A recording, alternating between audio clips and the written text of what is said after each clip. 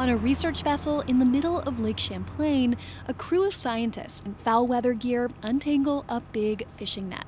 They're about to drop it into the depths of the lake. Yeah, your position, Dave? That's Vermont Fish and Wildlife biologist Bernie Pientka. The crew is looking for young wild lake trout. After some time, the crew haul the net back up and onto the boat and dump the catch onto a laboratory table in the middle of the deck.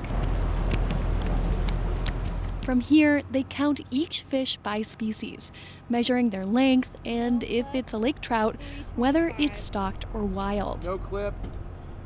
229. The trip is part of Vermont Fish and Wildlife's annual survey of the lake trout population. Historically, the data has been used to help scientists from Vermont, New York, and the federal government decide how many hatchery fish to stock in the lake. But after years of conservation and stocking, wild fish now make up about 50% of the lake's lake trout population. They're spawning on their own. That's why the plan is to stop stocking them and let the fish take it from here.